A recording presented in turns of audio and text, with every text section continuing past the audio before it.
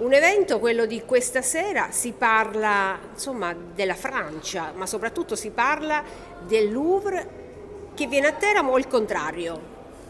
È un po' tutte e due, nel senso che io sono nato a Teramo e sono finito al Louvre e oggi è il Louvre che ho finito a Teramo. Si parla in effetti di questo, si parla di che cosa c'è al Louvre che racconta la storia di questo territorio.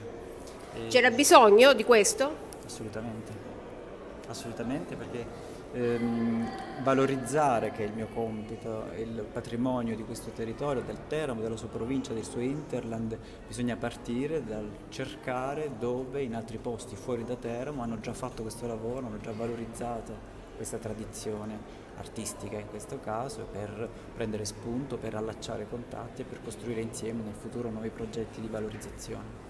Da Teramano come trova Teramo? Cambiata, in positivo, rinata. Da um, quanti anni? Negli ultimi anni? Sì, sì, dopo, dopo, dopo, gli anni del terremoto devo dire che le ultime volte che sono tornato mi è sembrata un'altra città. Perché un uh, turista dovrebbe venire a Teramo a vedere cosa, oltre al Castello della Monica?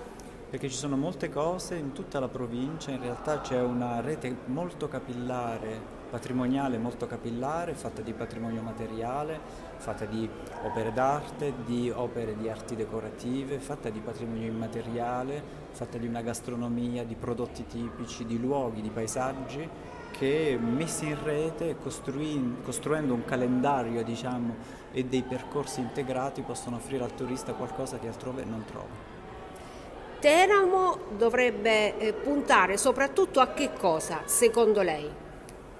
Secondo me deve puntare all'integrazione di tutto questo patrimonio capillare sul territorio. Non c'è una grande emergenza architettonica, non ci sono grandi musei ovviamente, non ci sono eh, complessi monumentali che da soli riescono ad attrarre il turismo, ma c'è ovunque, ogni metro che passa, un qualcosa che può essere osservato intelligentemente, naturalmente, che può costruire in un percorso costruito ricostruire la storia di questo territorio, è molto ricco in questo senso, di questi piccoli patrimoni puntuali.